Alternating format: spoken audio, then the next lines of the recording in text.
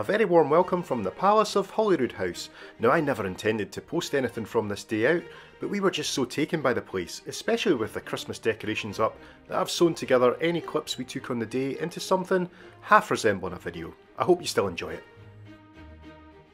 This is still the principal royal residence in Scotland and it has been since the 16th century.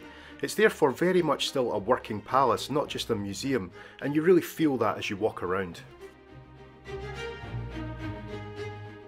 If you get the opportunity to visit, I'd recommend picking up the free audio tour which brings the rich history of the palace to life with some genuinely interesting commentary.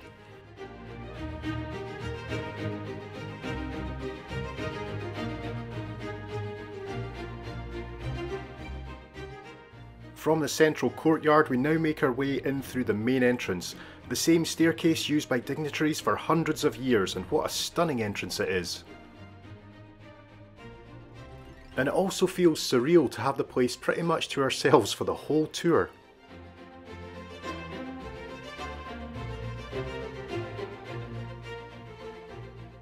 From here in the magnificent dining room, a quick glance out the window shows our location, next to the Parliament building at the foot of the Royal Mile here in Edinburgh.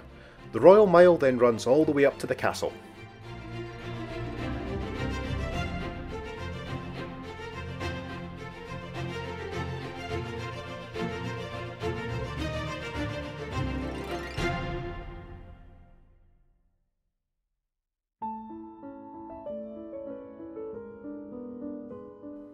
The tour now takes us deeper into the palace and through the rooms still used by the royal family to this day to entertain heads of state from around the world. It feels warm and homely here, if a little bit dark, but this is mainly due to the mesh coverings on the windows to protect the paintings. I'm sure when Her Majesty's here, it's a whole lot brighter.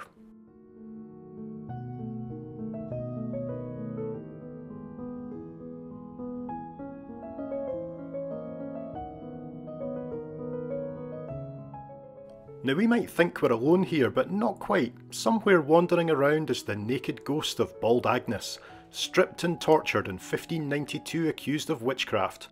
Unfortunately, she didn't come and see us today.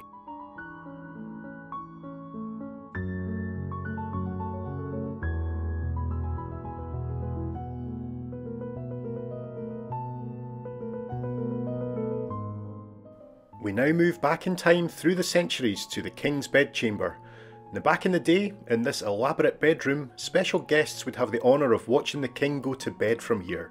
How weird and slightly disturbing that sounds today.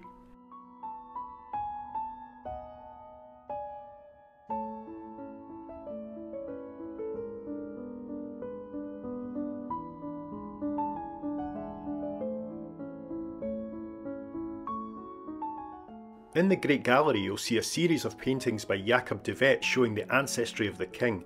Now de Vet used creative license to make all portraits appear similar to Charles II with his piercing stare and prominent nose, all of this designed to underline the authority of his path to the throne.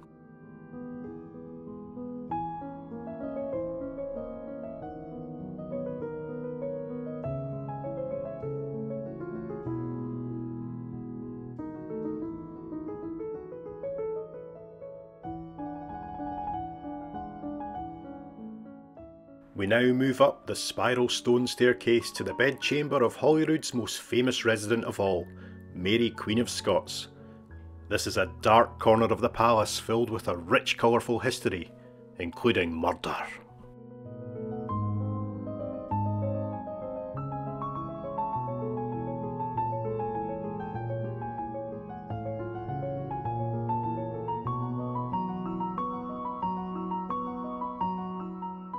The ruins of Holyrood Abbey, founded in 1128, still hug this side of the palace to this day.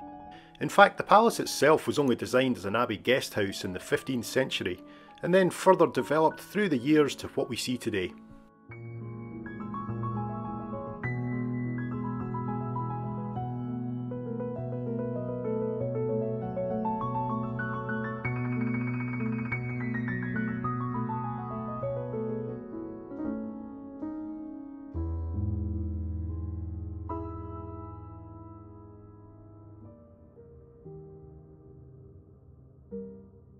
From the abbey we get a glimpse of the ancient foundations and the gardens of the palace. We'll now head out to these secluded gardens where you feel a million miles away from the hustle and bustle of Edinburgh beyond.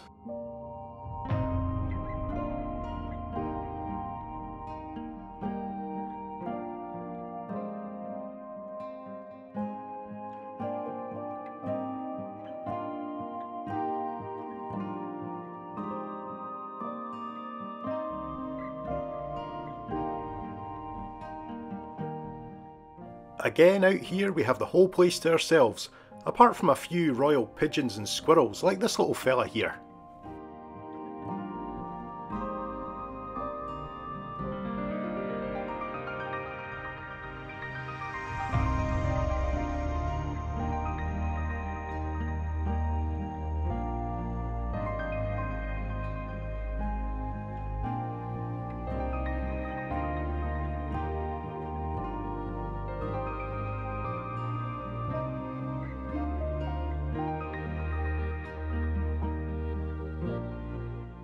We finish up at the southern side of the palace where the Queen hosts the garden party each summer. You can see the summit of Arthur's Seat in the background. This is the only place other than Buckingham Palace itself to host such parties. Thanks so much for coming along with us today. Hopefully we'll be back soon with a proper video. Wishing you all the best for 2021.